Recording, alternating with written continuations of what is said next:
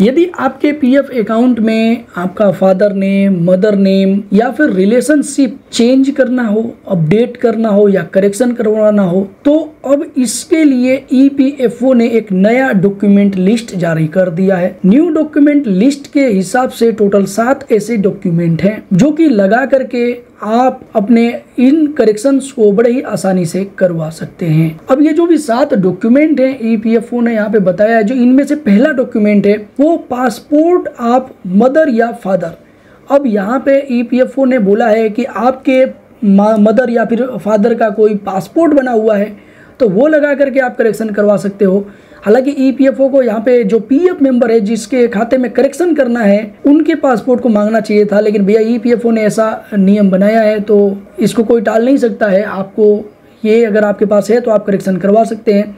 अन्यथा दूसरे डॉक्यूमेंट के साथ आप जा सकते हैं। अब जो दूसरा डॉक्यूमेंट है, यहाँ पे बताया गया है कि अगर आपके पास राशन कार्ड या फिर पीडीएस कार्ड है तो वो लगा करके अपना करेक्शन करवा सकते हैं। इसके अलावा जो थर्ड डॉक्यूमेंट बताया गया है ईपीएफओ की तरफ़ से सी जी एच एस या फिर ई सी एच एस या फिर मेडिक्लेम कार्ड है आपके पास, जो कि फ़ोटो के साथ होना चाहिए।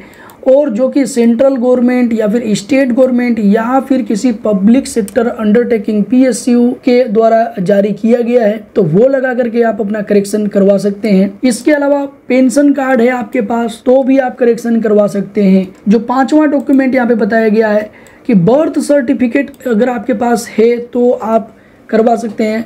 भले ही किसी नगर निगम के द्वारा जारी किया गया इशू किया गया है, या फिर गवर्नमेंट के द्वारा जो भी लोकल बॉडीज हैं, यानी कि जो भी सरकारी संस्थान है, उसके द्वारा आपको जारी किया गया है तो वो भी आप लगा सकते हैं। अब इसके अलावा या तो आप तालुका से बनवा करके लगा सकते हैं, या फिर तहसील से कोई बना हुआ है तो वो भी आप लगा सकते हैं। यानी कि सब मिला जुला के अगर आपके पास बर्थ सर्टिफिकेट है तो आप अपना करेक्शन करवा सकते हैं। इसके अलावा जो छठा डॉक्यूमेंट यहाँ पे बताया गया है कि मैरिज सर्टिफिकेट जो कि गवर्नमेंट के द्वारा इशू किया गया हो, वो आप लगा करके अपना करेक्शन करवा सकते हैं। इसके अलावा जो सातवां और लास्ट डॉक्यूमेंट बताया गया है फ़ोटो आईडी कार्ड आपके पास हो, जो कि सेंट्रल या स्टेट गवर्नमेंट के द्वारा जारी किया गया हो, या फिर जन आधार, मनरेगा या फिर आर्मी कैंटीन कार्ड आपके पास हो, इनमें से कुछ भी है। कोई भी डॉक्यूमेंट है तो आप इनको यूज़ करके अपना करेक्शन करवा सकते हैं। अब हालाँकि यहाँ पे टोटल सात डॉक्यूमेंट बताए गए हैं फादर नेम मदर नेम या फिर रिलेशनशिप अपडेट चेंज करने के लिए। अब ऐसा नहीं है कि ये सातों के सातों डॉक्यूमेंट आपके पास होना चाहिए। इनमें से कोई भी एक दो डॉक्यूमेंट हो तो आप उनका यूज़ करके अपना करेक्शन बड़े ही आसानी से करवा सकते हैं।